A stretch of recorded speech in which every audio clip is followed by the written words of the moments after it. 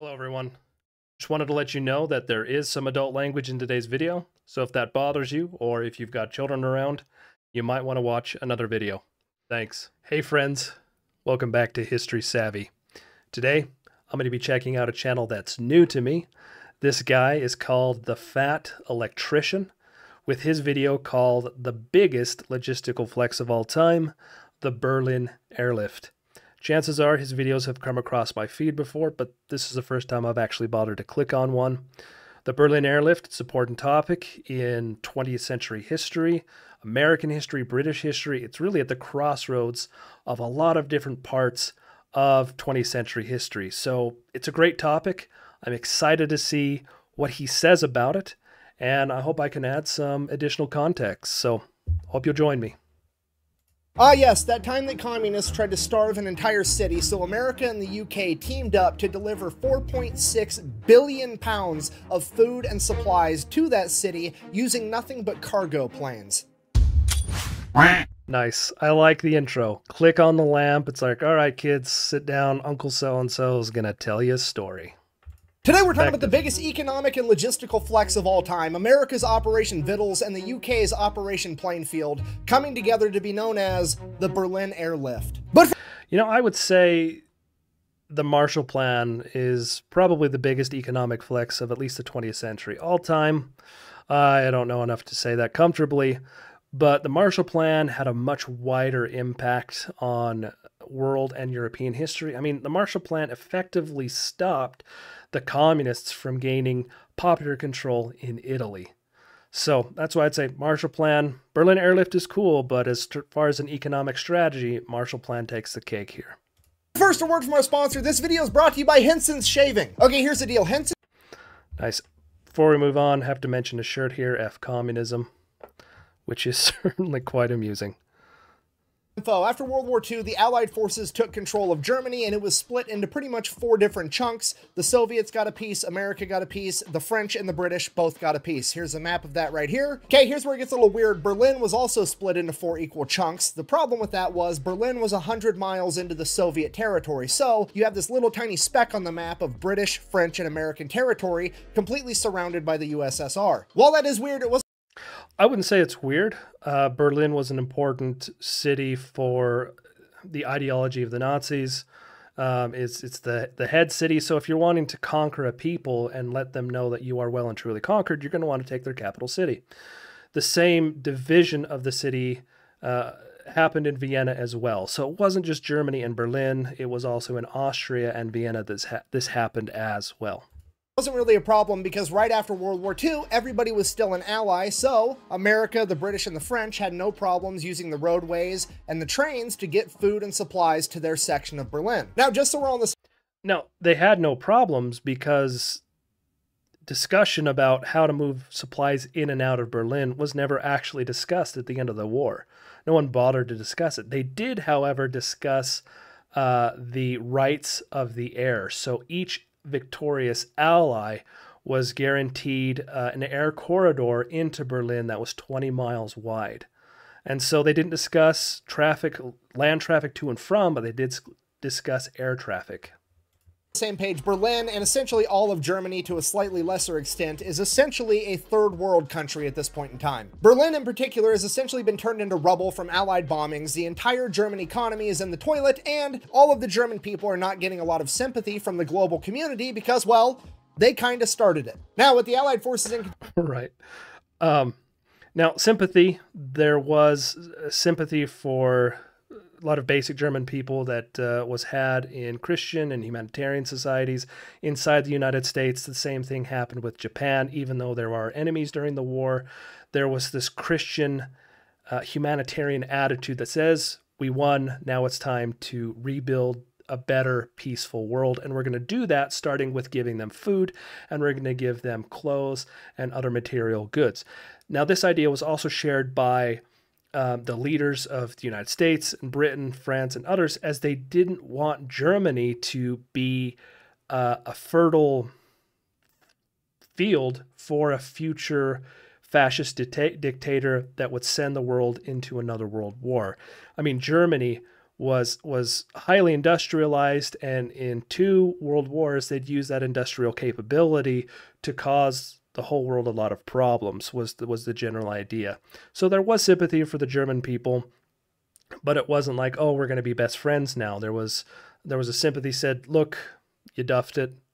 We need to move forward, and I understand that we need to help you control of Germany, it is their job and their responsibility to help take care of the German people. Now, the Western powers, America, Great Britain, and France, they're all on the same page. They all have the same game plan. They want to go in, render aid in the short term to the German people, then in the long term, help prop up their economy, get them back on their own feet, and then they can leave. The USSR, on the other hand, aka the communists, absolutely hate that idea. The last thing a bunch of communists want is people being able to take care of themselves, so they step in and they're like, no, absolutely not. We're going to build a communist utopia out of this place. So, in order to stop the Western powers from helping Germany, they decide that they're going to print billions and billions of Reichsmarks, the German currency. They devalue the currency so there's so much money that it's no longer a store of value to the point. An important part of this is it was the responsibility of the Soviet Union at this time to print the Reichsmarks for the German people. So they had total control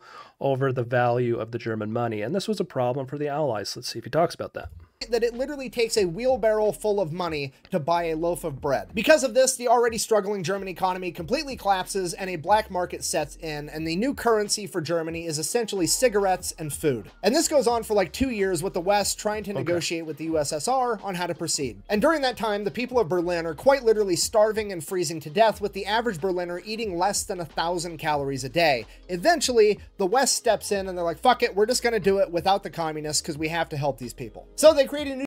Yeah. Uh, so the average Berliner, uh, I think the average German, more broadly speaking, was uh, eating fewer calories in the few years after the end of the World War II than the uh, average unemployed American was eating during the Great Depression. So it was it was pretty nominal, and there were people dying at pretty significant rates. In fact, the population of the city of Berlin was actually shrinking between 1945 and 1948 new type of currency for Germany known as the Deutschmark, and it's going to be seen as a real store of value and help rebuild the German economy. The Soviets find out about this and they freak out, basically break all diplomatic communication with the Western powers, and they officially want to break up and just have East versus West, capitalism versus communism, hungry versus Fed. This is where the Cold War really starts kicking off. And the first ideological battleground of the Cold War is going to be Berlin, because remember, it's 100 miles into Soviet territory, and a big chunk of it is still controlled by the Western powers. So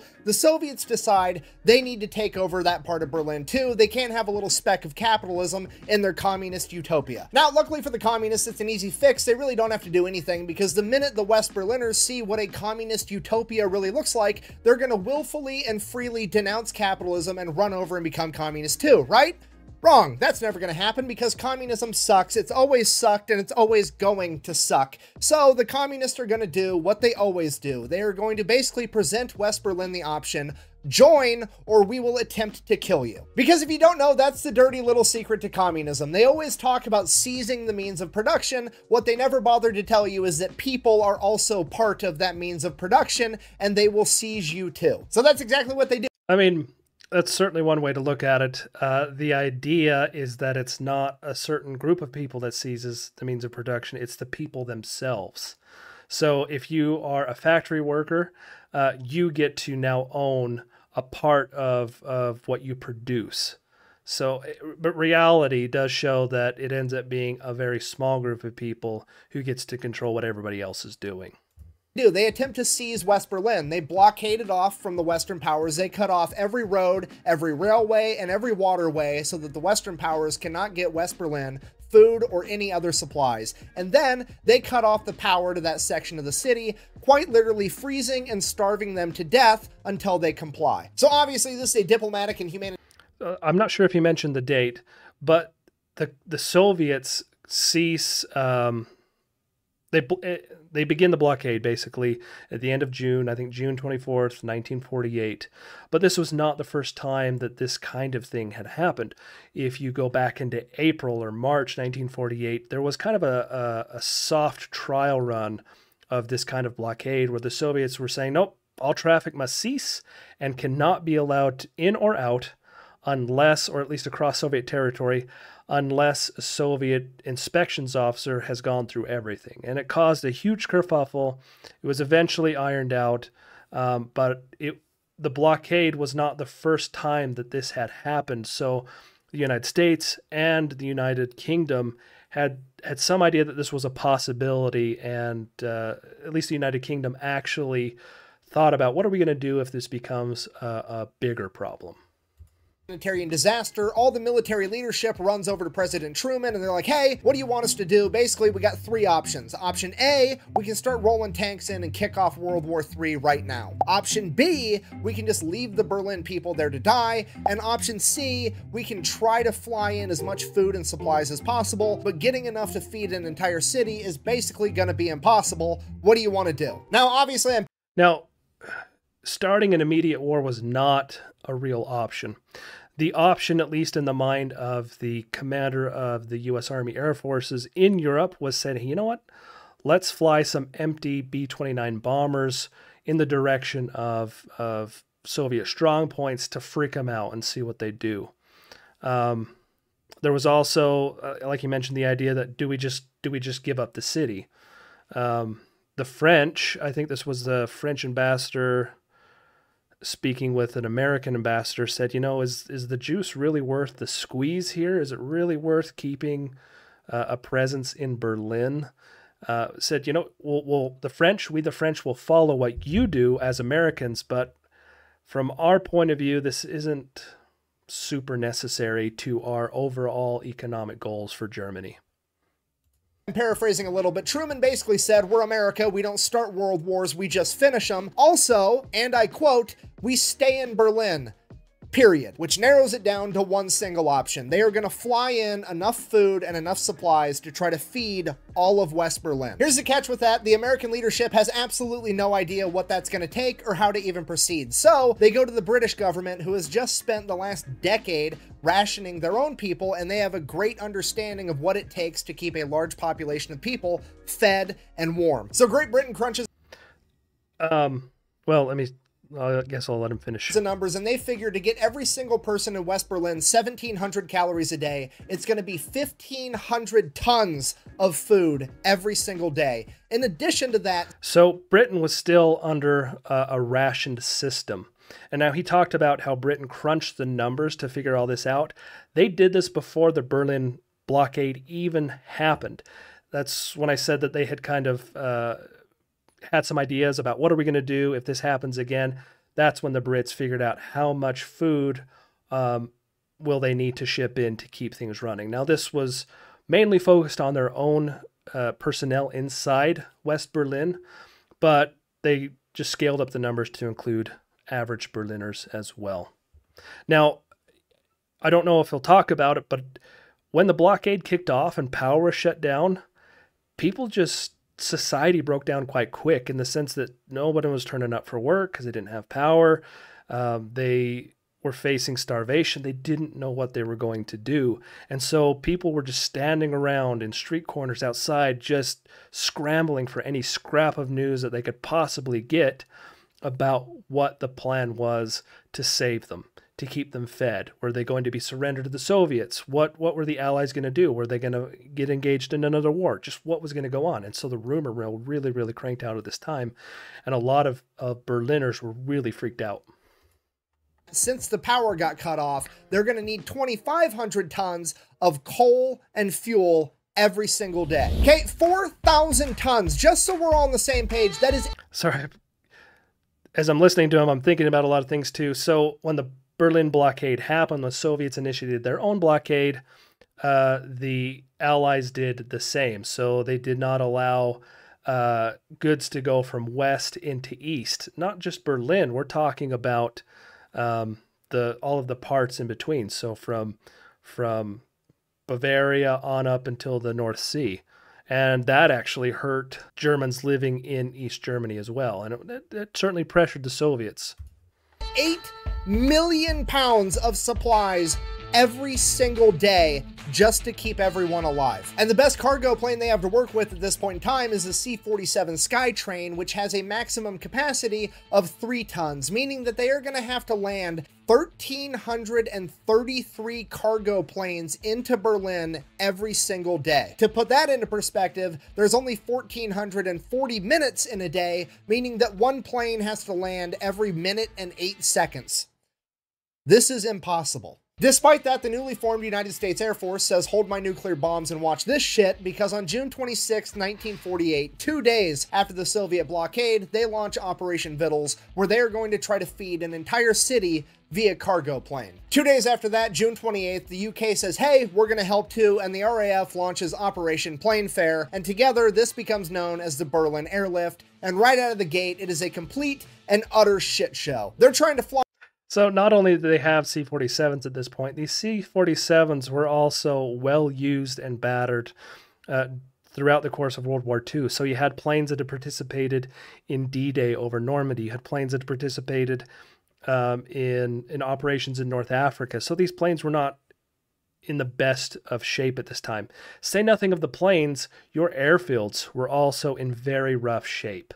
Um, they actually had to build additional airfields for uh, the capacity to be brought in for the air traffic that was necessary to make this uh, airlift, this air bridge successful flying planes from absolutely everywhere. It is disorganized chaos. There's planes crashing. There's mid-air collisions. It's a complete disaster. And on their best day, they're maybe able to get a thousand tons of supplies, less than a fifth of what they need. Now, at this point, the condition. I don't know that I would say it's a disaster. It certainly has its struggles. Because if it was a disaster, then that would have forced a lot of people to say, is this really worth doing? Like, we're not achieving our goals here, and it doesn't look like we're going to. So I, I don't think it was a disaster. Conditions in Berlin are getting worse and worse by the day. The communists are essentially laughing at the stupid capitalist pigs, at which point America calls up one of its main characters, a man by the name of General William Tunner.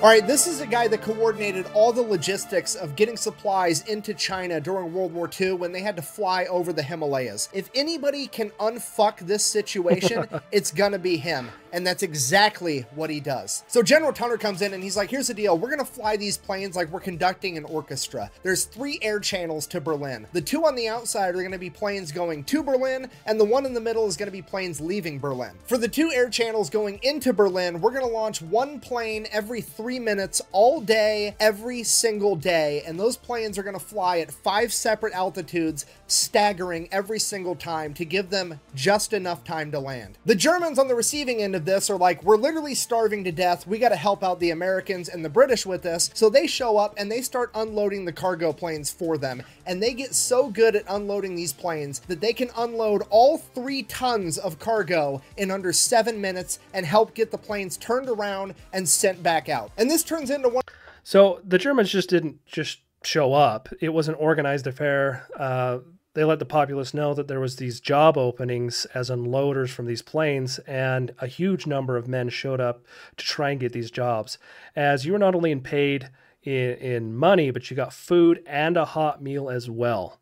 So there was a huge incentive for German men to get a job working unloading these planes one of the most beautiful humanitarian team effort moments in human history. There's American and British pilots, aircrew members, mechanics, all just showing up in West Germany without even being called to help with this effort and to fly and repair these planes to keep them going around the clock. And then it, it, this wasn't this wasn't just uh, like we need to pull together altruism kind of thing. There was economic and and actual incentives like I'm going to survive if I participate. This wasn't altruism. There was economic, moral uh, incentives that brought people together here. Over in Berlin, the same thing is happening. There's Luftwaffe airplane mechanics showing up to help. Oh, uh, I, sorry, Luftwaffe. I, I'm laughing at his pronunciation of, of Luftwaffe. I know he doesn't speak German. It's not his fault, but it was a pretty stinking funny translation. Repair the American and British cargo planes to keep everything running. The two sides that were fighting against each other just a few years ago are now working together to save people. Everybody involved in this operation gets so good at what they're doing that the choke point that's holding up even more progress is that they don't have enough airfields to land the planes on. So the Germans straight up build another one. The only problem with that was there was this big ass apartment building in the way, and when the pilots lowered their landing gear, their landing gear would only clear that apartment roof by like 20 feet, which seems like it would be kind of terrifying. So the Germans are like, hey, do you want us to rip that apartment building down? What do you guys want us to do? And the American and RAF pilots are like, bro, we just got done flying in World War II with you guys and the Japanese shooting at us.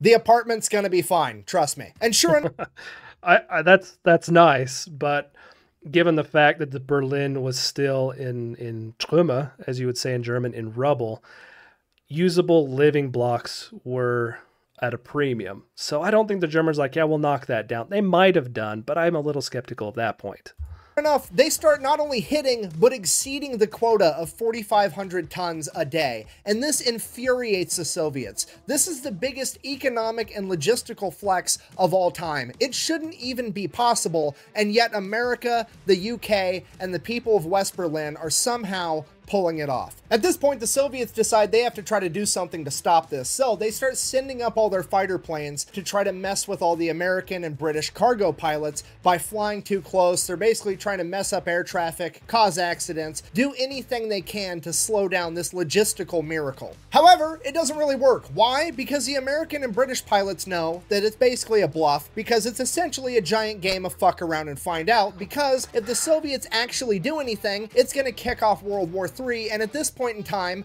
America is the only country on the planet that has nuclear bombs and a president that's not afraid to use them. Okay, if you're not picking up. Yeah, that's true. Um, Truman did drop the bombs, order the bombs dropped on Japan, and it wasn't until 1949 that the Soviets actually had their first successful nuclear test happen. But imagine for a moment uh, if you're a Soviet fighter pilot being sent up to harass uh, the planes of the Berlin airlift. If you're just a, one guy who's just flying around these other planes, how stupid do you look? You've got planes flying at different altitudes. You've got dozens of planes. You can just see planes going and coming all the time, and you're just one plane. You're going to look really insignificant. You're going to look really stupid. So I wonder if the Soviets actually how many did they send up? That's a question I have because otherwise you look incredibly stupid. You're not threatening. You're just one plane, maybe two planes in the face of dozens of planes.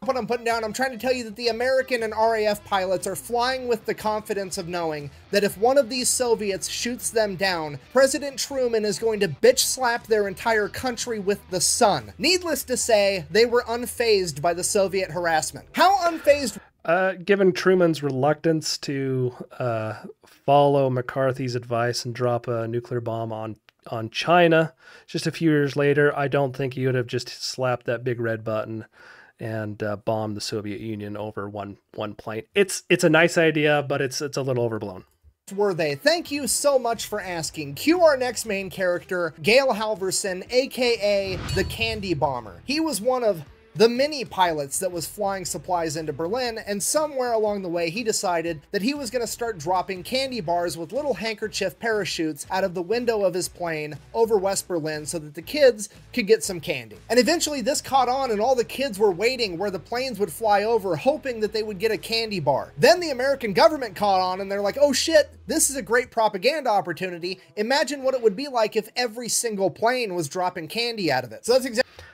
so Halvorsen, how this started, according to what Halvorsen said, is he was taking photographs of planes landing uh, at I think it was Tempelhof Airfield, and he noticed a bunch of children who had congregated at the the edge of the airfield, and so he went over to them and he provided them a few pieces of gum because they were so so desperate.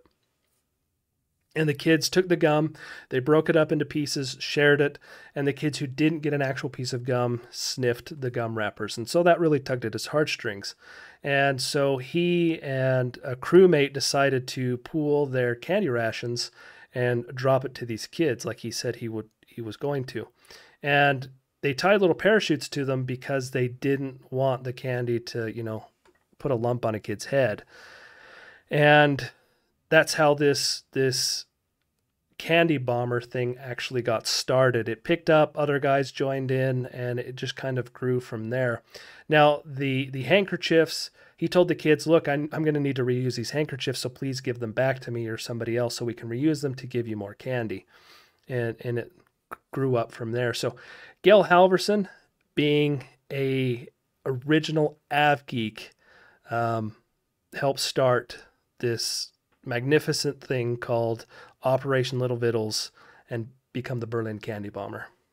Exactly what they do. They start dropping a bunch of candy out of every plane, and then they make propaganda out of it. But then it gets bigger because all the American candy companies start sponsoring it and donating even more candy to drop. And then it gets bigger because all the kids in America and the UK start raising money at school to buy candy to give to the kids of Germany. And they're giving out even more candy. And the Soviets have to stand there and watch as the Americans and the British are not only flying in a literal Costco worth of shit into West West Berlin every single day, but they're dropping candy out of their planes like it's a fucking parade the entire time. And this is all going on while East Germany and East Berlin is eating potatoes and standing in bread lines, and it makes the Soviets look like the biggest assholes on the planet. Because not only are the people of East Germany watching the Western world essentially move heaven and earth to help out West Berlin, they're also watching the Soviets be more interested in disrupting America and the UK from helping people than they are in helping the people of East Germany. In short, America and the UK are playing to win, and the Soviets are playing to not lose, and it is leading to a lower quality of life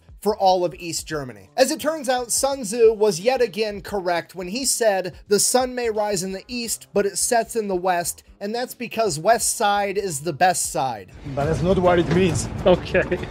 Really? Not even close. that might have been Ice Cube, actually. Anyways, so now in retaliation for all this, America nice the UK and pretty much the entire Western world are going to put a bunch of embargoes on the Soviet Union and punish them financially and economically. Now, the Soviets absolutely cannot afford this, but they keep telling themselves it's okay, winter is coming, and as soon as winter gets here, they're not going to be able to land all these planes, and this whole thing's going to fall apart. We just have to wait out long enough for winter to slow down America and the UK. So that's what they do. They just try to shoulder the financial burden and wait for winter to come and put a stop to this entire thing. Winter. Now, on a diplomatic level, there are negotiations happening, conferences being had between the Soviets and the Western Allies. Uh, there was a conference in in Moscow where there was some hope that Stalin would uh, would ease back on some of his his restrictions. Uh, that, of course, didn't end up happening. But the point is, is there was still lines of communication open between the Soviets and the Western Allies at this time.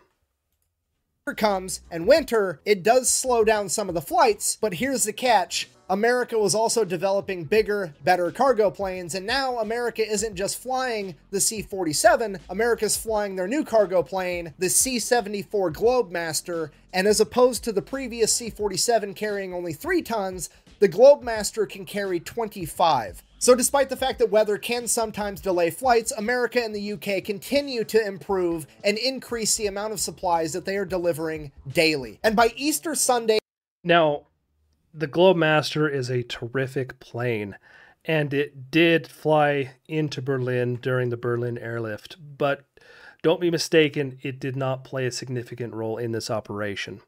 The reasons for that are the runways, the airport runways were not constructed to handle the weight of this aircraft. And the Soviets said, hey, we don't really like that aircraft uh, because these these doors here you could stuff them with bombs and you could bomb us. Now, that seems like a really weak argument because of its effectiveness in bringing in supplies. But in any event, the C-50, uh, sorry, the C-74 was the Globemaster was not heavily used during the course of the airlift. The stars of the show are the C-47 Skytrain and the C-54 Skymaster. The as we know, the C 47s were the initial aircraft used, and then in July, only a few weeks after the start of the blockade, the C 54s started to show up. And this is what Galver- Halvorsen was in um, when he became the Candy Bomber. So C 47, C 54s, they're the real stars of the show. This plane's cool. The Globemaster is cool. It's an important part of American military aviation history, but it's not the star of the show here. In 1949, they would break their own record, landing 1,383 planes in a single day, delivering 13,000 tons of supplies, which is 26 million pounds, which obviously is like 11.8 million kilograms or roughly 87 blue whales. Yeah, the United States Air Force and the RAF shipped 87 blue whales worth of crap into West Berlin in a single day, and because of this, it becomes very apparent to the Soviet Union that America can and will keep this shit up forever if they have to, and they are finally forced to give up the blockade because they cannot shoulder the financial burden anymore, and that would come down on May 12, 1949. And with the roads and railways to West Berlin finally open once again, the Berlin airlift would come come to an end after 15 months 277,000 flights spanning 92,000 miles and delivering 2.3 million tons of aid, which is roughly 4.6 billion pounds or 15,333.33333333 blue whales. This is the greatest. Why is it blue whales? Why are blue whales always like the uh, the size against which you measure anything really large. Don't know. In any event, the Soviets they lifted the blockade. However, the Allies continued the airlift for another five or six months, just in case the Soviets decided to reinstate the blockade. Logistical and humanitarian feat ever accomplished, and the Western world did it with communism doing everything it could to slow it down. So, in conclusion, Fuck communism. the best way to support the channel is go buy some merch at thefatelectrician.com. Quack bang, out. Does have some sweet looking merch. But yeah, good video. Uh, definitely gives you the basics of the Berlin airlift. Um, and I hope I was able to fill in a little, uh, little bit more of those gaps. There's a, a number of good books out there. Um, a lot on Gail Halvorsen as the Candy Bomber. Um, I would also read parts from Truman by David McCullough. Um, he talks about sort of what was going on inside Truman's White House at this time. Good book.